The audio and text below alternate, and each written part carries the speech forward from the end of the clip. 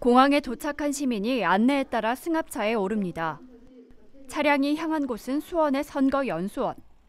입국자는 야외에 마련된 임시 진료소에서 검사를 받은 뒤 곧바로 연수원 숙소에서 생활하게 됩니다.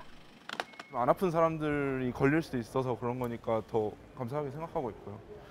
뭐, 나 가족들도 안전한 거니까 수원 시가 무증상 해외 입국 시민을 위해 전용 차량과 임시 생활 시설을 마련했습니다. 입국자라도 증상이 없는 경우엔 집에서 생활하며 경과를 살피도록 돼 있는데 이들의 확진은 물론 가족 등 2차 감염까지 이어지자 시가 직접 대응에 나선 겁니다. 지난 26일부터 시설에 다녀간 이들은 120여 명.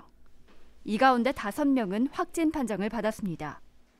무증상자들을 2, 3일 정도 숙- 숙박하면서 어, 어, 검사를 해가지고 어, 음성인 사람은 가족 가정으로 돌아가시고 2주간은 자가격리를 해야 되는 부분.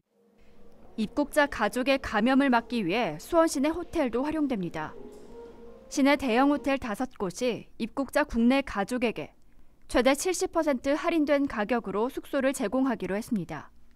가족분들이 편하게 이용하실 수 있게 또 지내실 수 있게 그 장소를 좀 저희가 제공해 드릴 예정이고 어, 이용하는 데 있어서 그 저희가 최소 운영 비용이 있습니다. 한편 선거 연수원 시설과 차량은 수원 시민에 한해 사전 신청 후 무료로 이용할 수 있습니다.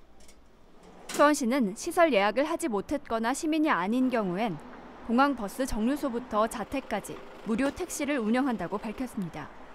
티브로드 뉴스 김효수입니다.